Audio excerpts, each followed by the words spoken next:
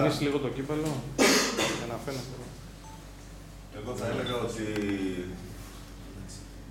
δίνεται ευκαιρία στο φίλαθρο κόσμο να έρθει στο κύπελο να δει δύο καλές ομάδες, οι καλύτερες ομάδες που ήταν στον όμιλό μας. Ε, και εγώ θα πω με τη σειρά μου ότι από αυτό το παιχνίδι να είναι κερδισμένο το, να κερδίσει το ποδόσφαιρο. Θα έλεγα ότι εκείνο που πρέπει και έτσι θα είναι να κερδίσει αύριο μεθαύριο ο καλύτερος και να μην υπάρχουν ακρότητες. Από εκεί και πέρα, εμείς όσο για μας θα ήθελα να πω ότι το πρώτο στόχο το, το πετύχαμε, που ήταν να βγούμε πρώτοι στο, στο πρωτάθλημα και πιστεύω ότι και αυτό το παιχνίδι θα μπούμε για να μπορέσουμε να, να πάρουμε το κύπελο. Αυτά ακόμα. Θα δώσουμε τον λόγο στον αρχηγό της ομάδας της Ρόδου, τον κύριο Σταμάτη Καθημερή, ε, να πει για αυτού τι απόψει του για το τελικό. Επειδή καλούμαστε να εκπροσωπήσουμε το, το τελικό κυπέλο σαν ομάδα, η ομάδα μας στην Ρόδου, ε, είμαστε υποχρεωμένοι φυσικά να τιμήσουμε την ΕΠΣ με τη διοργάνωση αυτή, να ευχαριστήσουμε τον κόσμο της Ρόδου και όλο τον κόσμο που θα έρθει να μας παρακολουθήσει. Φυσικά, ε, ο κερδισμένος να είναι το ποδόσφαιρο. Και εύχομαι ο καλύτερος να κερδίσει. Καλή επιτυχία στην ομάδα του Γιάννη και φυσικά στους ε, συμπαίχτες μου. Και αν κατακτήσουμε το κύπελο πρέπει, πρέπει να το αφιερώσουμε στα παιδιά, στους συμπαίχτες μου φυσικά που δεν έχουν πολύ χρόνο συμμετοχής που αυτά τα παιδιά μας φέρανε στο τελικό κυπέλο γιατί η ομάδα, ε, όπως ξέρουμε, ε, έχει ένα στόχο να, να, να καταφέρει να ανεβεί, να αλλάξει κατηγορία. Οπότε δεν είχαμε την πολυτέλεια να, τα, να έχουν πολύ χρόνο συμμετοχής και έτσι ε, ήταν ευκαιρία αυτά τα παιδιά να, να πέσουν αυτά τα παιχνίδια. Καλή επιτυχία και πάλι και ευχαριστώ. Ευχαριστούμε τον άνθρωπο του πρώτου. Το λόγο έχει και να κλείσει και την πρωτολογία ο αρχηγός της ομάδας του Ελισσού, ο κύριος Βάκελος Ρεκλίδης. Καλησπέρα για μένα. Είναι ένα μάτς γιορτή.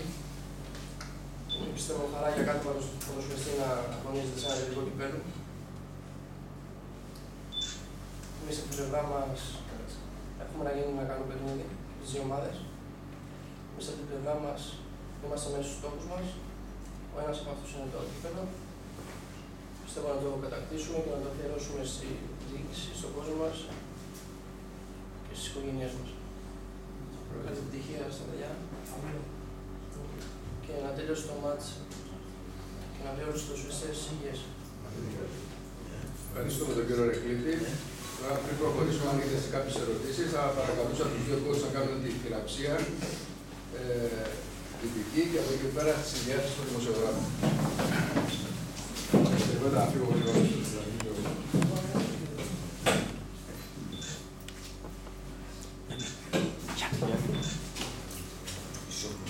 Έτσι, μισό μισό ακριβώς. Ευχαριστούμε.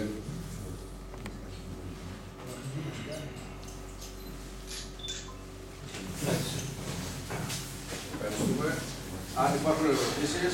Ναι, υπάρχουν. Να μας πείτε πώς ε, αποφάσισε, πώς αποφάσισε η Ένωση Ποδοσφαιρικών Σωματείων Δεκανήσου να τοποθετήσει τους φιλάθλους, μιας και πλέον τα δεδομένα θεωρούν μετά την κλήρωση γηπεδούχων των Ιάλισσων και φιλοξενούμε την ομάδα της Τρόδου. Ε, μπορώ να σας απαντήσω στην ερώτηση αυτή, αλλά επειδή στη δεδομένη στιγμή ε, θεωρώ ότι είναι ε, πρωταγωνιστές είναι οι κύριοι που μίλησαν προηγουμένως, θα επακολουθήσει μια σύσκεψη στις 3 η ώρα εδώ με τους εκπροσώπους των δύο σωματείων, ε, όπου θα πάρουμε κάποιες αποφάσεις για πώς θα γίνει ο διαχωρισμός στο φυλάδι και όλα αυτά. Είναι κάποια διαδικαστικά θέματα, τα οποία νομίζω ότι αυτή τη στιγμή ας τα αφήσουμε λίγο στην άκρη, γιατί δεν...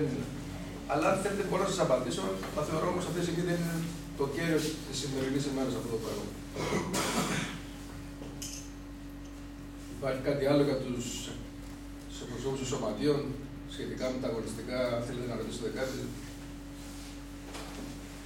Αν τους προβληματίζει το γεγονός, νομίζω ότι ναι, ε, ρωτώ και, τους, δύο, όποιος θέλει ξεκινάει πρώτος, αν τους προβληματίζει το γεγονός ότι μετά δεν θα έχει συνέχεια ο κυπελούχος δωδεκανής, αν δεν κάνω λάθος, έτσι, δεν λέγαμε, δεν θα εκπροσωπηθεί στην ε, επόμενη φάση του κυπέλου Εραστεχνών Ελλάδος, κύριε Σταύρου και κύριε Σκούνα. Θα ρωτήσω κύριο Σταύρου πρώτος. Αυτό είναι επιλογή της διοίκηση των διοικήσεων μάλλον των ομάδων.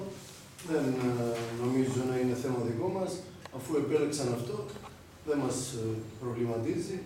Θα κοιτάξουμε τη μετέπειτα πορεία των ομάδων μας, πιστεύω, ε, στα play-off. Κύριο Σκούνας. Ναι, και εμάς θα έλεγα ότι δεν μας προβληματίζει αυτό, εφόσον υπάρχει και αυτή η απόφαση. Νομίζω ότι άλλοι θα έπρεπε να το κοιτάξουν αυτό. Εμείς και να υπήρχε συνέχεια θα ήμασταν έτσι όπως έπρεπε. Στιγμή που δεν υπάρχει, κοιτάμε το στόχο που έχουμε. Εγώ θέλω να ρωτήσω αν ε, τους δύο προπονητές αν θεωρούν αβαντάζ ότι η Ρόδος αγωνίζεται στο τελικό στη φυσική της έδρα. Ε, Ας ξεκινήσει ο κύριος Σκούνας και θα το πει ο κύριος Σταύρου. Ε, βέβαια, όπω είπα, οπωσδήποτε στο γήπεδο μας παίζουμε. Ε, αλλά αυτό θα έλεγα ότι δεν σημαίνει τίποτα. Εξάλλου και τα παιδιά που παίζουν στην Άλξη έχουν ξαναπέξει πάρα πολλές φορές στο, στο γήπεδο αυτό. Δεν νομίζω ότι είναι αβαντάζ. Ναι, θεωρώ ότι είναι αβαντάζ για τη Ρόδο, παίζει στην έδρα της, στην πόλη μέσα.